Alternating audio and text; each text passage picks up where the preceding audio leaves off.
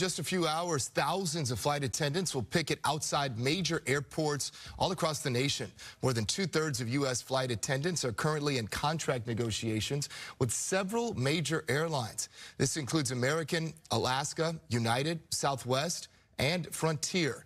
They're seeking better pay, retirement security, and schedule flexibility. Picketing is planned at 30 major airports, including two right here in Southern California. LAX starting at 11 and Ontario starting at 10. The pickets are not expected to disrupt flights.